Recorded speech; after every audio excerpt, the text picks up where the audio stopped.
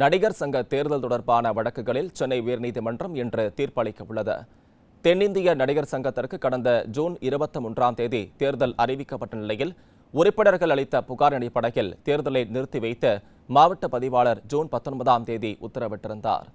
இந்த உத்தரவை எதிர்த்து நடிகர் சங்க பொதுச் செயலாளர் விஷால் சென்னை உயர்நீதிமன்றத்தில் வழக்கு ஒன்றை தொடர்ந்தார்.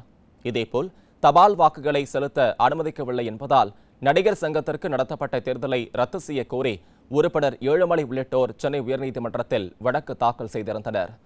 இதனிடையே நடிகர் சங்கத்தின் நிர்வாகத்தை கவனிக்க பதிவுத்துறை உதவி ஐஜி கீதாவை நியமித்த தமிழக அரசின் உத்தரவை எதிர்த்து நடிகர் சங்கத்தின் தலைவர் நாசர் மற்றும் பொருளாளர் கார்த்திக் சென்னை உயர்நீதிமன்றத்தில் வழக்கு தாக்கல் செய்திருந்தனர். இந்த அனைத்து வழக்குகளையும் விசாரித்த நீதிபதி கல்யாண சுந்தரம் தீர்ப்பை தேதி குறிப்பிடாமல் ஒத்திவைத்தார். இந்த நிலையில் அனைத்து வழக்குகளிலும் சென்னை உயர்நீதிமன்றம் இன்று தீர்ப்பு வழங்க இருக்கிறது. இது போன்ற முக்கிய வீடியோக்களை உடனுக்குடன் தெரிந்து கொள்ள நியூஸ் ஜே யூடியூப் சேனலை சப்ஸ்கிரைப் செய்யுங்கள்.